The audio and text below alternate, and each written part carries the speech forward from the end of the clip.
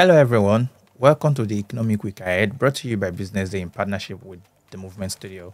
My name is Wasiu Ali. And my name is Eniola Olatunji. This week, we have various data and reports coming out. And starting today, the selected food prices for March would be reported by the National Bureau of Statistics. Now, last week, the food inflation printed at over 40%. But you, that is a record high inflation Yes. rate. And what is driving the food inflation this high? Well, um, quite a number of things are driving food inflation. Um, one of it is um, insecurity, and um, you know, um, the world, uh, the change in the climate condition. So all of this, the the NBS, the, the most shocking part of the report, the food the food inflation report was the um, the high rise of garri. What? garri is garri? The, yes, garri is the highest um, food that takes a chunk out of people's wallets. Well, garri is like the The common staple, common right? yes, common food for everybody's last resort. If I don't have money, I drink garri. Yes, everybody everybody sees garri as the, the savior. But shockingly, um, um, Nigeria is the largest producer of cassava, and Wow. you know the, the the the according to report, Nigeria produced sixty point eight million tons, Tons of of, cassava. Of Cassava. cassava, as of 2022. Wow. And so, if Nigeria could be producing this much cassava, how then are we now buying garri a bag for about 40,000 naira now?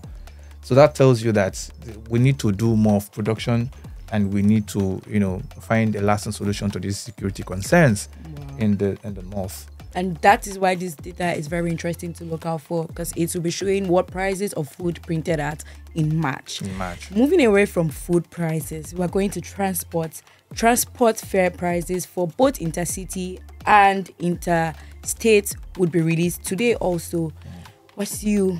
The prices of transportation has been very, very high. Been- I personally have been paying. f- I've been paying through.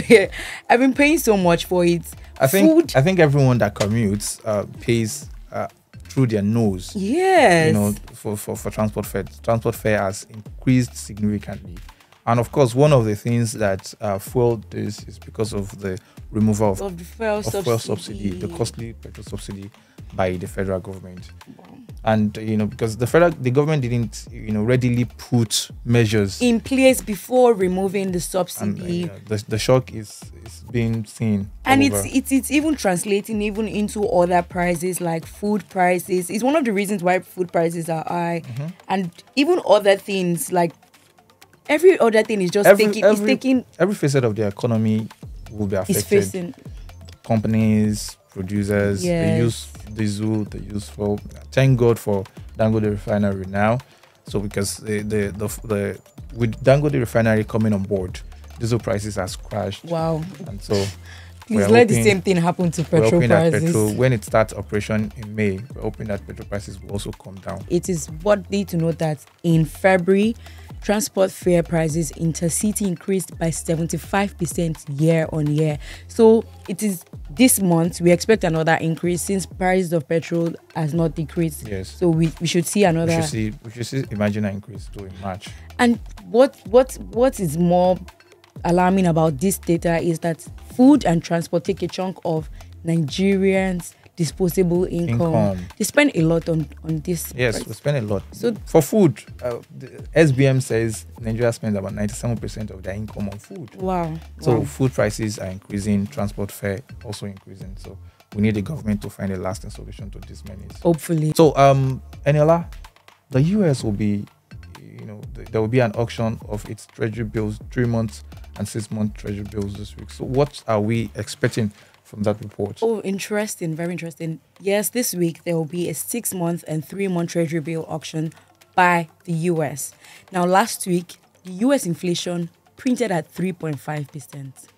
So, when economies are going through very high inflation, what the central bank usually do, and in this case, the Federal Reserve, is to mop up liquidity or raise their interest rates. Now, the America has been very, very laid, not laid back, but they have been very, very Restrictive. restrict, restricted with cutting their rates because they've been trying to see where inflation, whether inflation would reduce or not.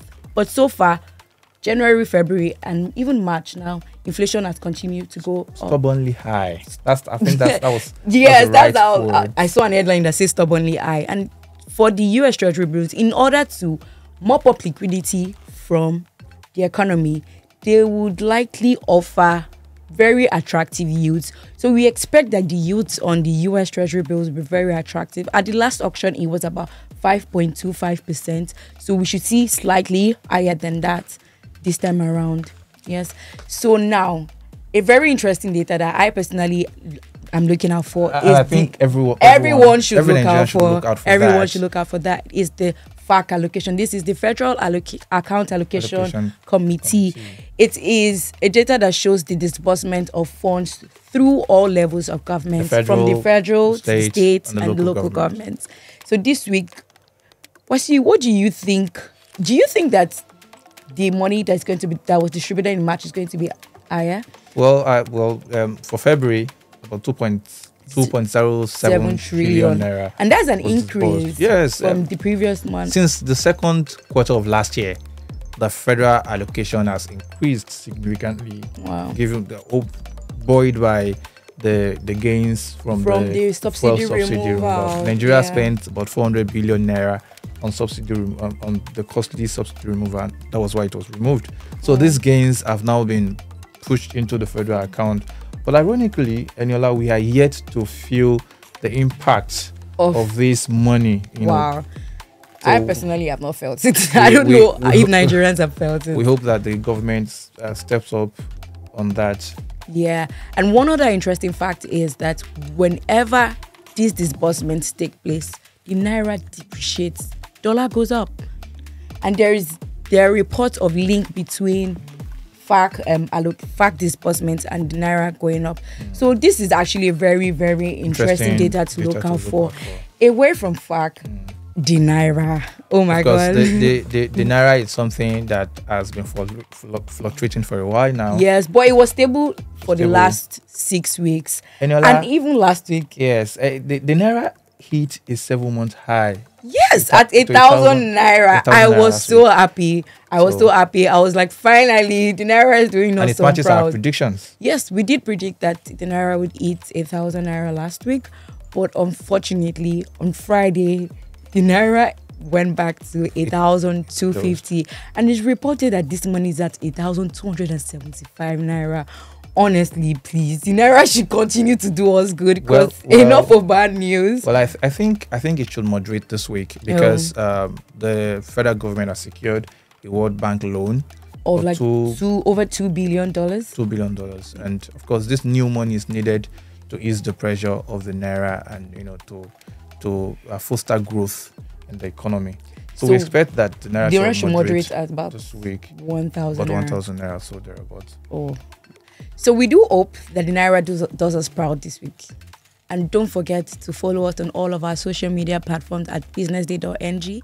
And also for in-depth analysis, you can go to our website at www.businessday.ng. My name remains Eniola Latinji. And I am Wasiu Ali. See you again next week.